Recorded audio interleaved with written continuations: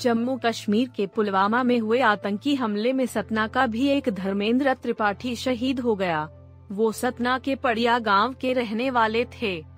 दरअसल जम्मू कश्मीर के पुलवामा में पंपोर के कांधीजल ब्रिज पर सीआरपीएफ की 110 बटालियन और जम्मू कश्मीर पुलिस के जवान रोड ओपनिंग ड्यूटी पर तैनात थे। उसी दौरान सुरक्षा बलों और आतंकियों के बीच हुई मुठभेड़ के बाद आतंकी हमले में दो जवान शहीद जबकि पाँच घायल हो गए। इनमें से एक जवान धर्मेंद्र त्रिपाठी सतना के पड़िया के रहने वाले थे।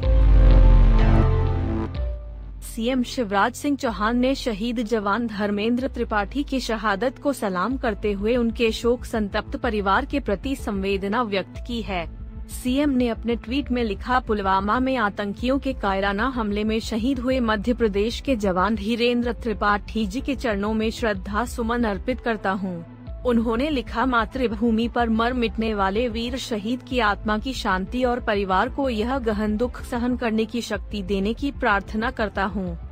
साथ ही सीएम शिवराज ने इस हमले में घायल जवानों के शीघ्र स्वस्थ होने की ईश्वर से प्रार्थना की।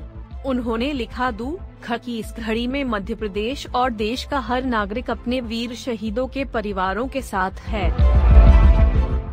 आपको बता दें कि धर्मेंद्र के पिता भी सीआरपीएफ में हैं और फ़िलहाल बालाघाट में पदस्थ हैं। उन्हें ही बेटे के शहीद होने की सूचना मिली।